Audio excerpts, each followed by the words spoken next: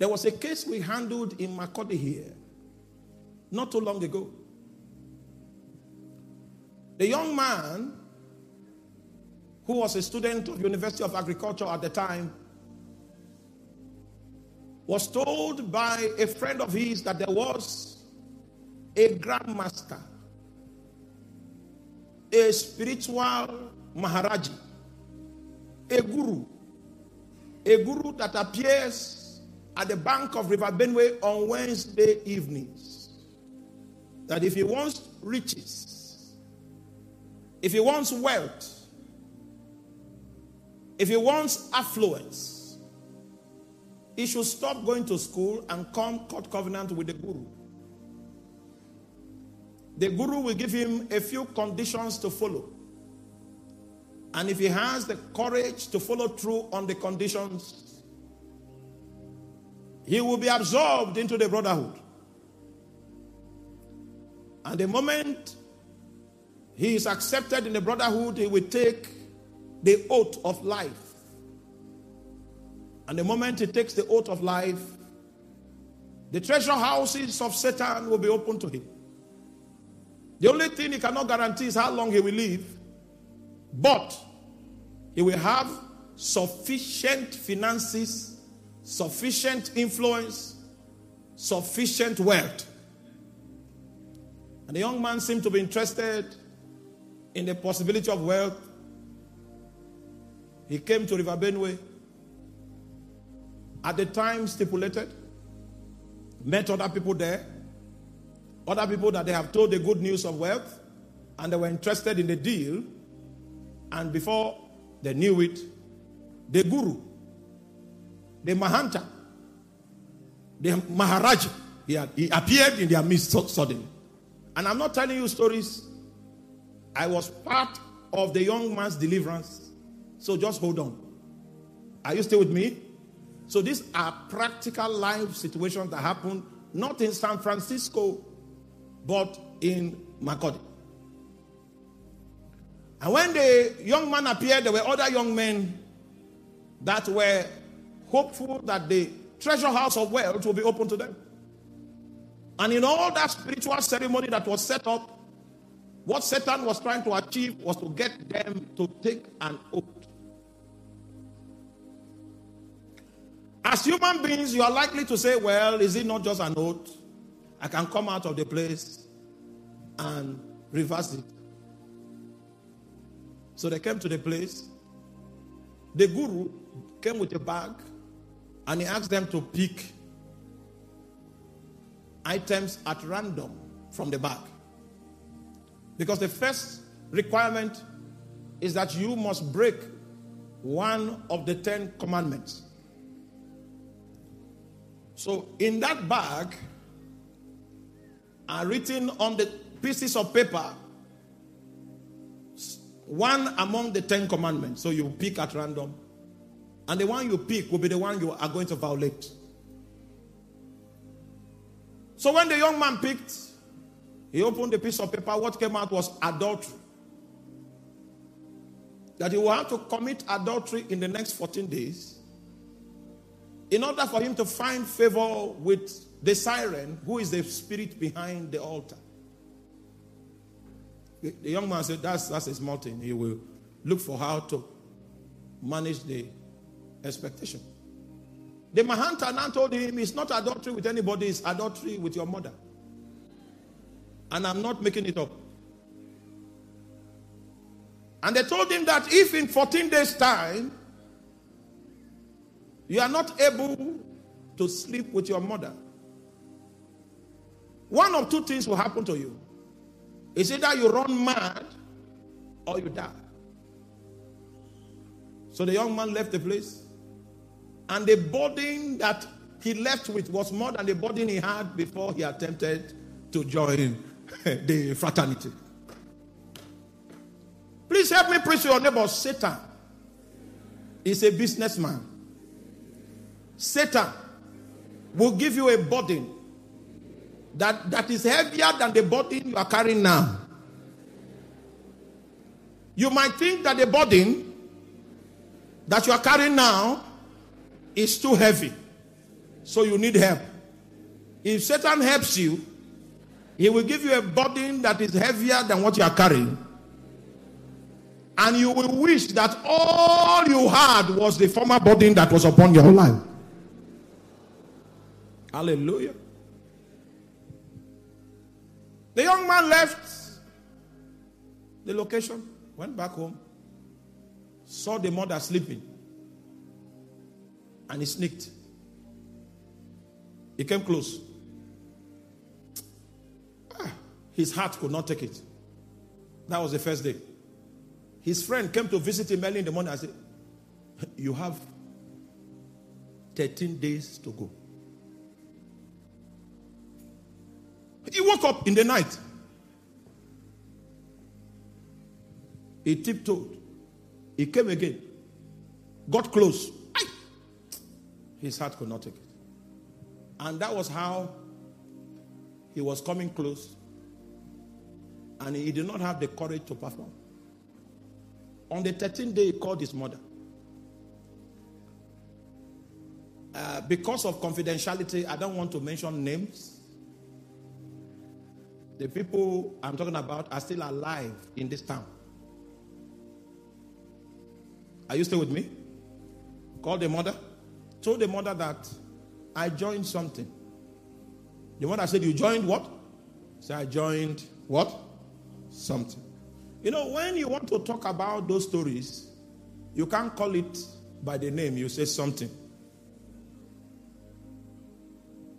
And the something that I joined, they told me there that I have to sleep with you. And for the last 13 days, I've been attempting, but my heart could not carry it. And they told me that if I don't succeed, it's either I will drop dead or I will run mad. So he told the mother that if I drop dead, then my blood is not in your hands. It's my mistake that is responsible for my death. But if I run mad, it means I have hope. Go and look for a strong man of God to deliver me from madness.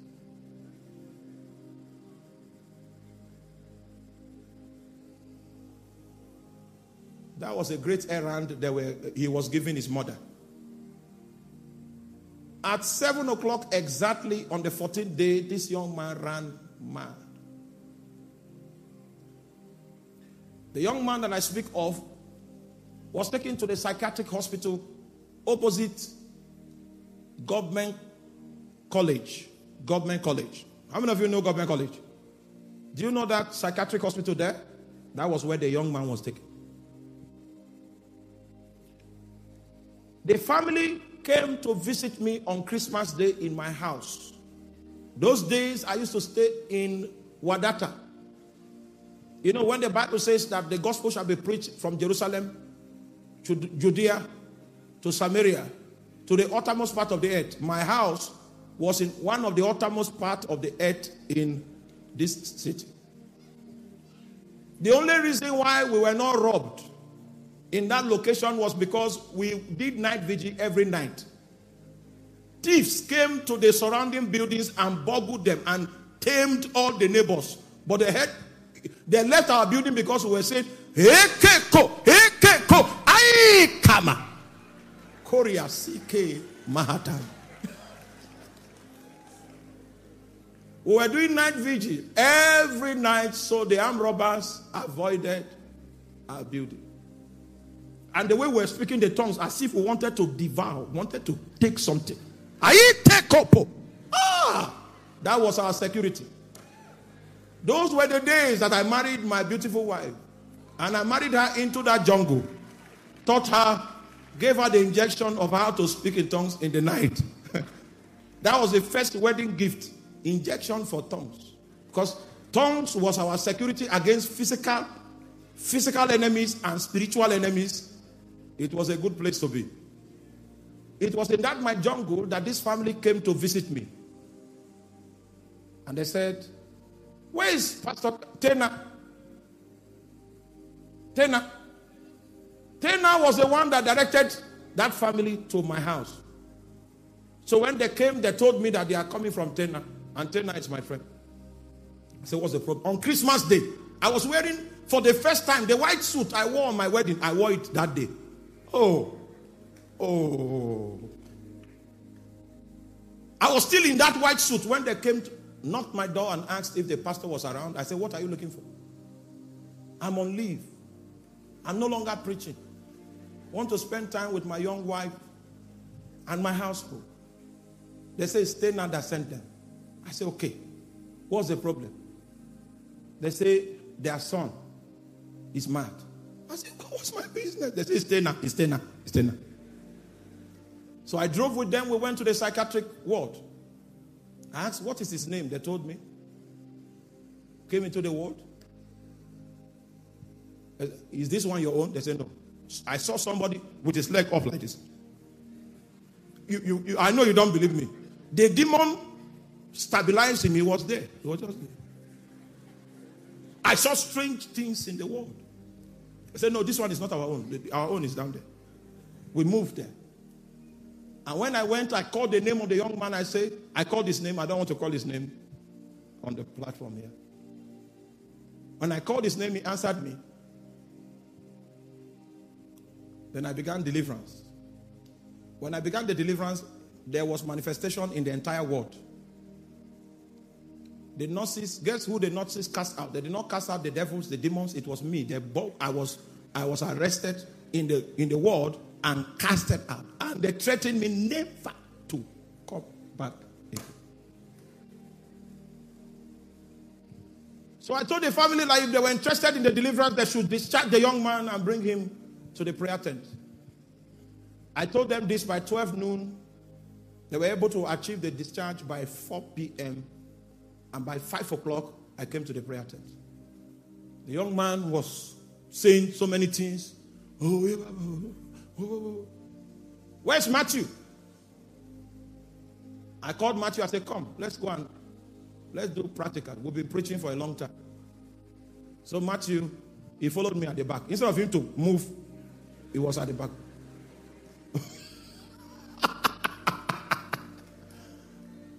we went there.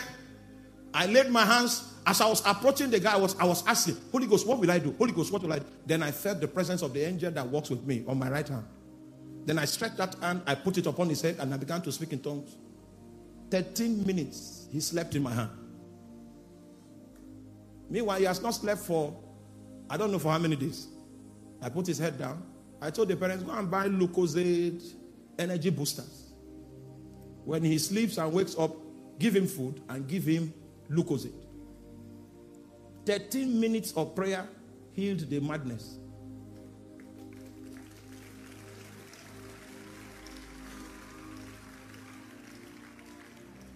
He woke up from the sleep, and when he woke up from the sleep, they gave him food, gave him drink. Then he slept again, woke up by 12 midnight. They gave him food, gave him drink. He didn't feel like sleeping.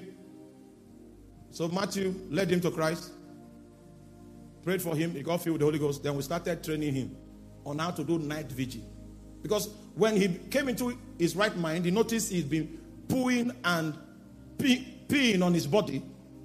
We went and changed him. Then we started teaching him how to survive. We took him for night vigil for three nights. I told him the demons will come back. When they come back, do this thing, this thing that we do. So we tested him and we knew that he could do night vigil by himself. That was how we discharged him. He went back to Uni Agric and graduated.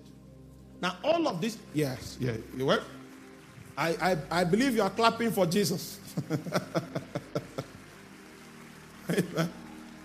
Hallelujah. Now, listen. It was a transaction that gave Satan the authority to plunder that life like that. It was just, it was just an oath he took. And the moment he took that oath, unknown to him, he had sold his soul to Satan.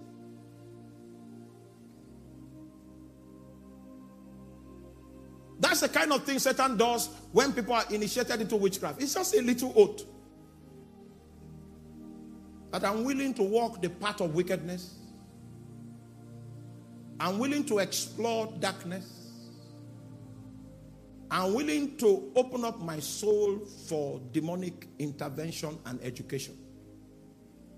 Then they seal the oath with a little blood covenant to validate it as a signature.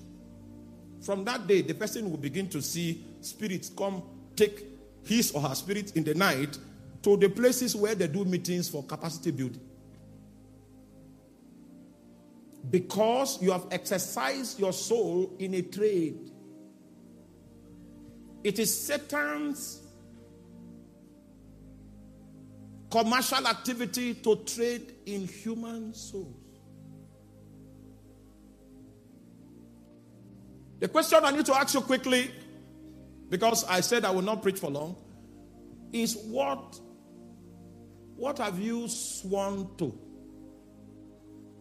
What have you agreed to work with? What have you decided to travel with? What, what, who have you given authority to take advantage of the powers of your soul? So, an oath, a covenant, is one of the means of transaction on the threshing floor of the soul.